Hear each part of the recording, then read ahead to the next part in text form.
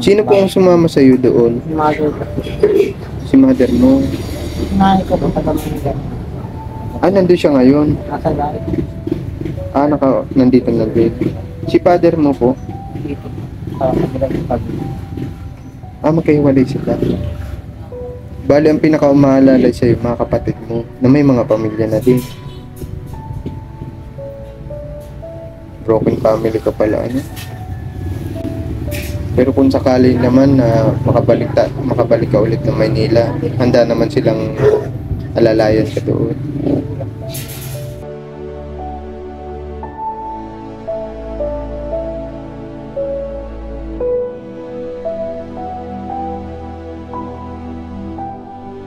Kaagapay Vlog YouTube channel katuwang sa paglingap Kaagapay Vlog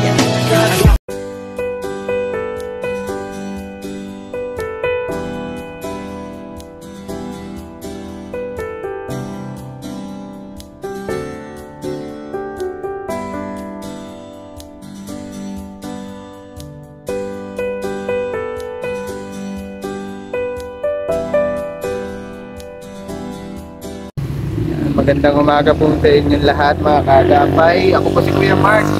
Pagkaman po, ng yes.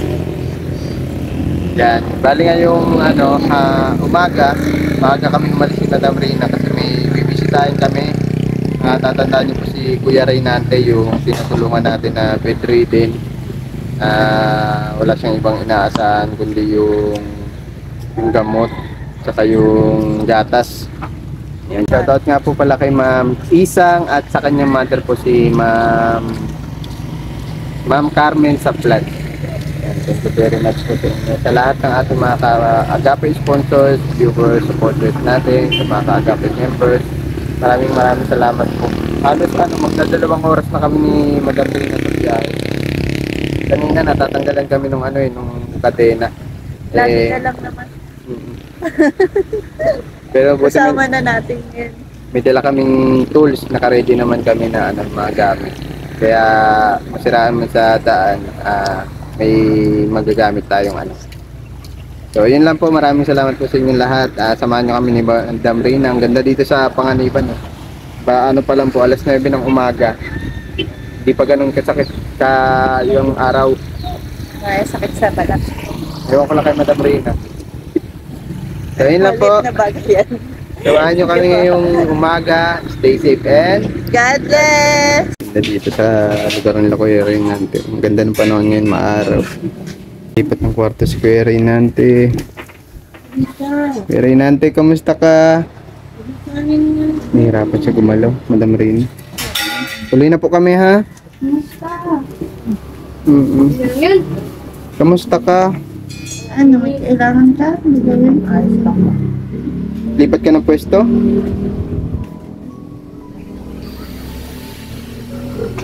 Ah, ganyan yung ginagawa ni Kuya Reynante. Kukusa siya mag-usog. Kaya lang na ano yun namin siya igalaw gawa nga na hindi namin kabisado yung kung paano siya hahawakan. Okay na Kuya Reynante, okay na po yan. Okay na po. Parang ano, mas lalong nagpayat ka ngayon. Ha? Ilang araw kang walang gamot? Pang ilang araw na po? Hmm. Naubos na po yung ano, yung yung gamot mo. Na. May nagbigay. May nagbigay sa'yo? 200. Kapit na ikisuyo ka na lang po. Napalapit na rin sa Napalapit, napasabay. Layo. Kamusta? May gatas ka pa po? Meron ka. Kasi maganda yan sa katawan eh. Oo, dapat ikaw nagpapalipas na nakakatulog na sa buto, di ba? Bakit gumagalaw ka? Hindi, okay lang, okay lang po. Mm-mm. Okay lang, Kuya Reynante. Eh. Huwag mo kami isipin. Sanay naman kami ano, nakatayo. Ewan ko lang dito kay Madam Reyna. Uupo ako. Ay, okay.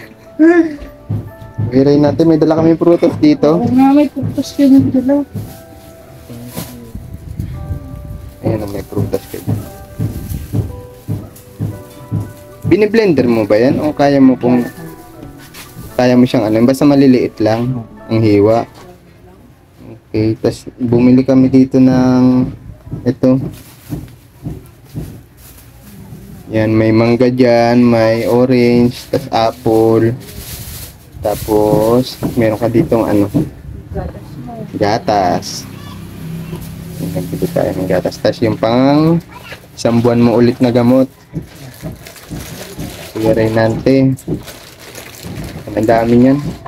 Baka ma, ano, magkaiway-walay yung iba. Iba-iba. Hindi, hindi. Pares lang yan. May mga nakabukod lang kasi yung gamot ni Kuya Reynante, nauubos sa isang ano, sa isang store. Po, hindi pa ako nga dun. 10 days na. 10 days na. Paano yun? Hindi. Doon nga po lang yun, siya nga 20 days. Nangin ako pa, yung sinokot. Pero parang hindi hindi po siya maganda sa katawan pag hindi ka nakakadumi. Ano? Ganun daw po talaga pag bedridden mo wala Pag bedridden, ganun talaga. Paano po yan na... Ito man pa akong sinochat. Sabi ko, bakit ko kaka... Nakagaling mga pag-sende. Sabi nga, may nang garang... May pang namin sa akin, sinokot, tutambo. Yun yung pinapainom sa'yo. Iba no? Susunod ko po siya kasi mahirap pa din. Pero nalabas yan. Tulad mo yan. Para po mahirap. Ay, wala pa akong sinokot ay sa pag-ibig. Kamusta nga po pala Kuya Ray natin nung Nakaraan pagpunta na nakaraan? Di ba sabi mo po may ano, may pupunta sa yung nurse? Ah, Kamusta po? Ano pong ano? okay man po yung mga ano po. Sinay ko ba po sa mga Okay yung pong mga resulta ng doktor. Ayun po niya, kailangan daw siguro talaga yung mga test ko para sa doktor. Yung eksperto para sa buto. Special na po na talaga. Oo. Yung uric fluid, potassium, creatine, talaga. Okay yung potassium mo. Talagang sa buto talaga. Ano po? Kaya daw po pala kailangan kong mga test. Yun nga, Isa man lang po ang daw. yun nga yung mahirap eh. Ah, bibira lang yung ah, eksperto na susuri sa'yo para malaman kung ano pa yung pwedeng mapagpagaling sa'yo. Ano? Kailangan yun, ah, may appointment bago ka pumunta po doon. nagtanong nga po si Dugdug kung meron specialist yung sa ano daw po. Kasagwa daw po rin. Ang hospital na kasag ko, nalimutan ko. Kasag, kasagwa. Doon. Ah, sa Kagsawa. Kag Yun. Camarines Sur yun. Yun, hospital yun. Malapit sa ano, Kaso wala sa... din daw po specialist. Wala po? Specialist pa, nagpatanong po si Dugdug kung meron. At doon, parang public pa. Public din yun. Pag sa Kagsawa. Eh sa ano, Kailangan daw po specialist pa doon. sa BMC, Meron, kaso pag- Bicol Medical Yun sa Center. may tapat ng BLC, sa BTBC, meron ng private na specialist sa isa. Ilang doktor dito, sa lugas pinapas ng Kung matuloy mo. Yung sa naga, si Dr. Pelo. Okay sana kung sa public. Sabi ko Ano po? schedule daw pag mga Kasi ano rin sa parang wala-wala sila. Okay sana po kung sa public gawa ng may mga ano po tayo, eh, mga libreng masasakop ng mga libreng gamot, ah, check-up. Eh, kung sa private, talagang malaking mal- malaking yung gastusan. Pero sana kung pala rin tayo na kahit muna mapa-check upan ka muna, ano, Kasi yung pinaka-importante. Kung sakali ba na halimbawa na mapacheck upan ka namin, may mga ambulansyang madali lang po yung ambulance kaya Kung may mga ko yung pera dadalhin niya, siyempre papapano, ikaw mapagasolina dyan, Tama. mabigay ka sa driver, tama. napakain ka yung alalay mo. Hmm. Yung sitwasyon ko, hindi pwede mo silang alalay, yung pati. Talaga. Hindi ka pwede naka-wheelchair. Pwede na po, Ah, pwede man. kasi yung pagkalis. Bakit ah, wala kang wheelchair, kuya? Meron Rin? na. Meron. Ba't, ba't hindi po nyo nagagamit? Nahirapan din ako siya. Pag na, Hindi mo ma-diretso yung likod mo? Parang binakal na ako. Hmm. Pag, Baka, ma'am. pag nadumi pa ako, sinisiya, inuupo pa ako sa upuan. Hmm. May butas na. Ako pag aansin ako dito yan, maiyak talaga yung kamariyak. Sobrang sakit. Kailangan pag tumayo ka, nakainom ka muna ng gamot. Para ka medyo bawa. Yung pain reliever niya. Alam mo ba, Kuya Rinante, pag bumibili kami ng gamot mo, nauubusan yung isang store doon ng Mercury Drug. Tapos lilipat na naman kami sa kabila. Buti meron. Pa. Oo. Yung ganyan palang gamot mo, bukod sa mahal na, Mahirap pang... mahirap pa Madaling nauubusan. No? Po Mm-mm. kasi talaga nire-request sa mga consultation. Ayan. Parang may nalaman ako yung mga nire-request sa consultation. Para medyo ano speed mo, parang medyo ligtas magbago. Kasi pag umiinom tayo ng gamot, ang pinaka-apektado talaga yung kidney natin. eh. Lalo mga antibiotic. Yung mga body organ. Parang yung gamit ko yun, medyo mahina sa mga pag-affect sa body organ. Tanong ko lang Kuya Reynante, ilan, ilan, may, may mga kapatid ka po? Ilan kayo magkakapatid? Yun lang, iba-iba lang. Iwalay kayo. Pero sa kami ko, sa kami. Bunso ko, yung maliit sa natanangay. Kasi itong bahay nila, tabing dagat. Para itong ano, po, Parang. MRT. Agad ako. Ay, okay. Yung mga bahay sa tabi ng dagat, ano, pero para siyang ano, Mga na, ang mga ano nila, parang ilalim nila tubig na. mm Katayo na sila sa tubig. Ano yung semento lang sa ilalim na. Yung iba kahoy. Ito lang yung mga kung bunso yung lalaki na ulo. Ano hulog dito? Dili. Delikado. Dito. Nag-iwat kayo dito, nahulog sa may. Ah, kaya nilipat ka dito. Kaya nilipat dito. Bakit gumuho yung ano dun? Yung poste? Yung hero doon, walang mga walang mga pamo. Bumigay. Nahulog yung bata. Buti nga po pag parang may ingel siya. Balikan ka, pagbagsak siya, nakatayo ka. Ay, Diyos ko po. Buti hindi tumama yung ulo, ano? Ito lang tubig. Wala. At kung may tubig, delikado mga ma Ang pinagtataka ko lang mga sandali. Si Hero yung dinaan niya, pagbagsak niya, nakadabit-dabit. delikado nga yung sitwasyon dito. Ano kung ano, Buti pinapayagan kayo na dito sa tabi ng ano. Yung mga bigay ko, may sabi daw hindi pagkit sa mga hindi nang diferan, wala ko. Kasi pag ginawa na tong boulevard, tatanggalin Wala ko na yung rin. mga bahay sa gilid. Kasi dun sa unahan ng ano nyo, yung barangay nyo, may mga ano na, ah tawag dito, service road, tabing dagat, mm maway dining na. May nakaready ng buong lupa sa ganyan, pag nilipasok ng mga kapatid. Sino kasama mo dito sa bahay na to, Kuya Renan? Kuya, Kuya mo. Siya yung umaalalay sa'yo. Kahit yung at least pa paano may kasama ka pa din. Ano, may pamilya na rin si kuya mo. anak ko rin nila. mm Yung sabi nila nung ah, nagkaganyan ka na, nung talagang totaling hindi ka na makabangon. Sabi ng mga kapatid mo sa'yo. Laban na. Hmm? Laban na lang. Dasal na lang. May pera, tapat na. Talagang pinaka, isa sa pinaka problema yung financial pagdating sa mga Nakambiyay sa ito kung patingin kaya nakulusubos na din. Kaya, pag galing ako ba akong Pangasinan, na ako kayo nakain ng tubig. Pangasinan? Layo. dahil kung magkano inabot ng bill niyo. Medyo nagpilisila. Ngayon medyo na pang wala lang lang.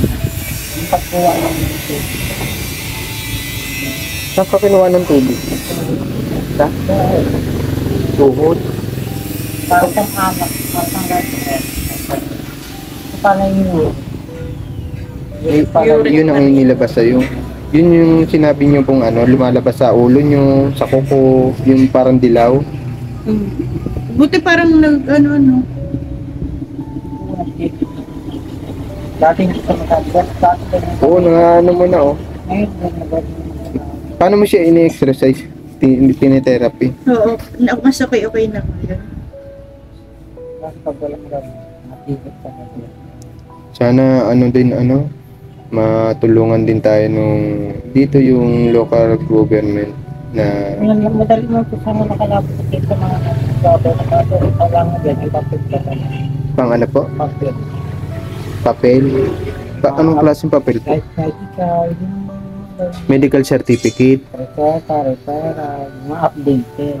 Sa madaling sabi po, kailangan mo na magpa-check up bago ka masuri nung ah bago ka nila i-assist, ganun. Sabi sila nakabili ng dapat. Kung yun yung requirement nila, eh wala tayong magagawa. Pero kung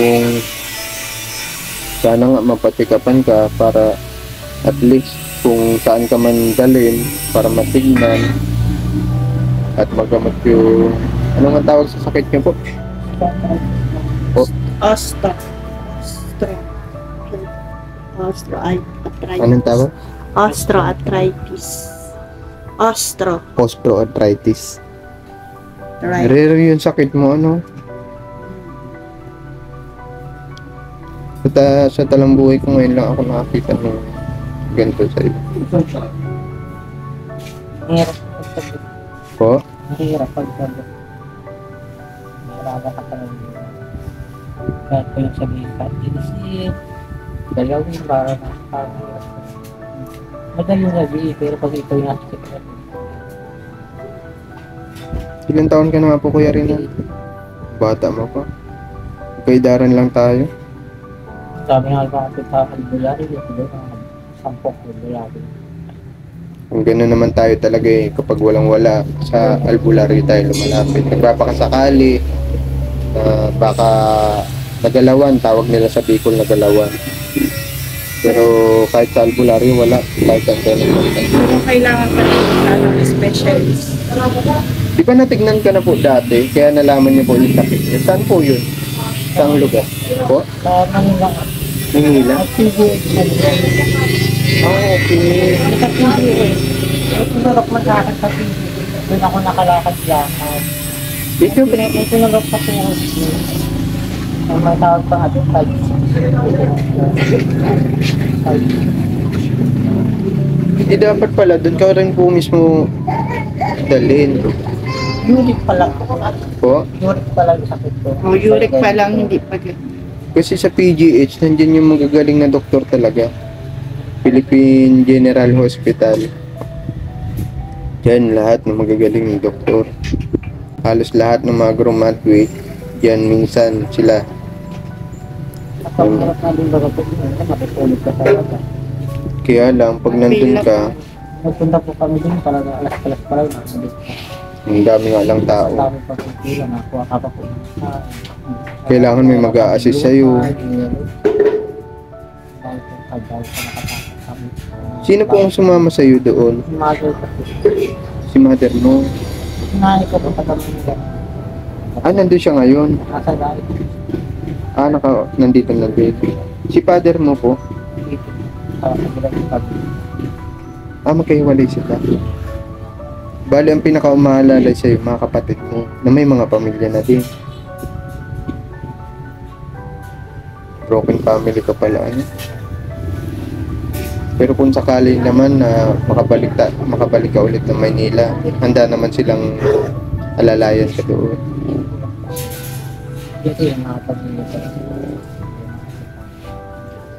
Alam mo sa akin bilang ano, kung ako yung pamilya, para sa mahal ko sa buhay sa kapatid ko, pero handa rin ako magsakripisyo. Eh, yun nga lang nakikita kita na kaya parang bigat na sa loob eh. Paano pa kaya yung ganun talaga dapat sa pamilya. Tutulungan, nagdadamayan. Ano po. Kasi wala naman tayong ibang aasahan na pwedeng malalay sa iyo pero sana makabalik ka doon ulit sa PGH Maynila ano Ah, baka sakali ah, gumaling ka sa naga para malapit-lapit. kung sa naga kung meron tama at least ah yung mga kapatid mo magulang mo hindi sila mahihirapan sa transportation. Kasi sa Maynila naman, kung doon ka check upan, tapos magagamot, wala naman kayong matutuluyan. Parang magiging taong hospital ka, yung kasama mo, ano? Ganun naman nangyayari. Eh, siksikan ang dami talagang tao. Dapat. Siya lang, mahigpit talaga. Wala naman kaming ibang hangat sa'yo, Kuya Renante, na manumbalik lang yung dating ikaw, yung normal na katawan mo. Naghanap nga pa kami ba't ang malalaking po sa akin.